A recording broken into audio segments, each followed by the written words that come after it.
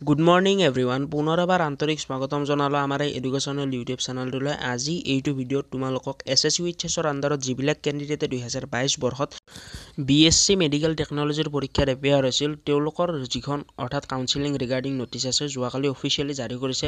ক'ত যাব লাগিব কিমান টাইমত যাব লাগিব সকলোৱে আশা কৰিছোঁ এইটো ভিডিঅ' চাইছা যিবিলাকে চাইছে গম পাবা।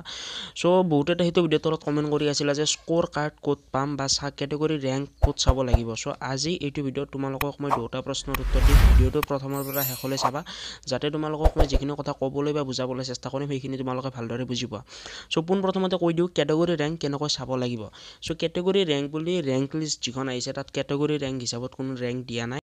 চিৰিয়েলি দিছে rank one two three four এনেকুৱা ধৰণে আহিছে।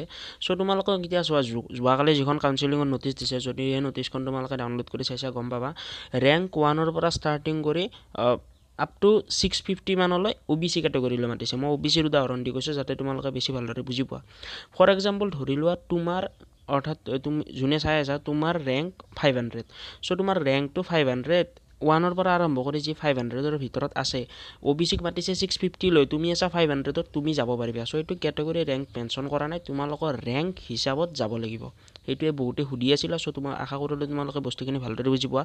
বা যিবিলাকে S T hills S T হিলছত চাগে ষোল্লশ মানলৈ মাতিছে তোমালোকৰ ধৰি লোৱা ৰেংক আছে পোন্ধৰশ পঞ্চাছ তোমালোকে যাব পাৰিবা এছ টি হিলছ তো কেটেগৰী ৰেংক হিচাপত নহয় এইটো অভাৰঅল ৰেংক নেক্সট আছে তোমালোকৰ স্ক'ৰ কাৰ্ড ক'ত পাম?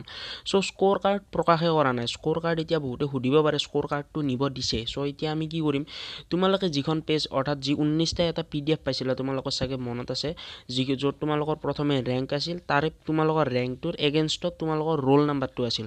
চ' তোমালোকে যিখন অৰ্থাৎ ফৰ এক্সাম্পল ধৰি লোৱা তোমাৰ ৰেংক ফৰ্টি ওৱান তোমাৰ ৰেংক ফৰ্টি ওৱান থকাতে তোমাৰ যিটো অৰ্থাৎ যিটো পেজত তুমি চাইছা যে মোৰ এইটো পেজত ফৰ্টি ওৱানত আছোঁ।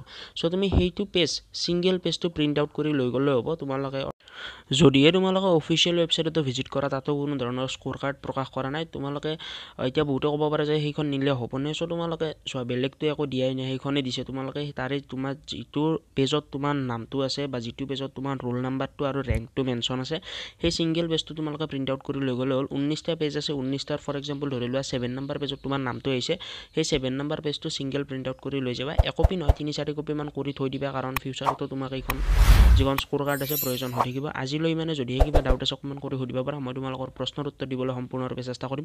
ভিডিঅ'টো ভাল লাগিলে নিজৰ বন্ধু বান্ধৱীসকলৰ লগতে শ্বেয়াৰ কৰিবা। জয় আই অসম।